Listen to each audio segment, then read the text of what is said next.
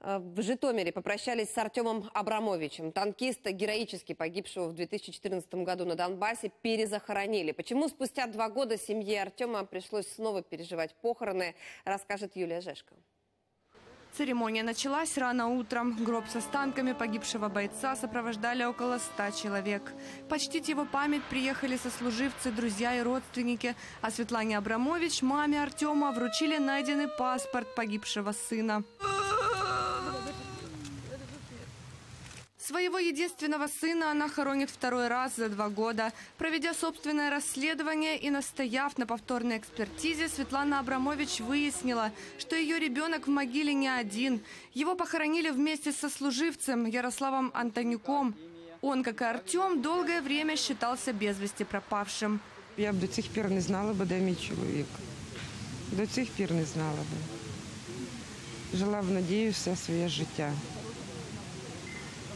Стільки благодаря їй 24-летний лейтенант, командир танкового взвода 30-й отдельной механизированной бригады, житомирянин Артем Абрамович погиб три года назад, протаранив один из российских танков Т-72. Сгоревшее дотла тело нашли через несколько месяцев. Мы привезли, оказывается, при останках были документы. Просто из рук вон плохо, на мой взгляд, отрабатывали тот материал, который мы привозили. Первая экспертиза показала, останки принадлежат Артему Абрамовичу. Однако после повторного исследования и эксгумации оказалось, что это не так. Теперь Светлана Абрамович хочет наказать виновных. и теперь будут наказаны.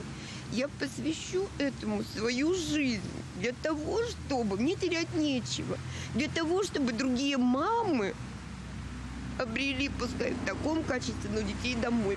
Семьи погибшего Артема Абрамовича и еще двоих членов экипажа собираются обратиться в суд.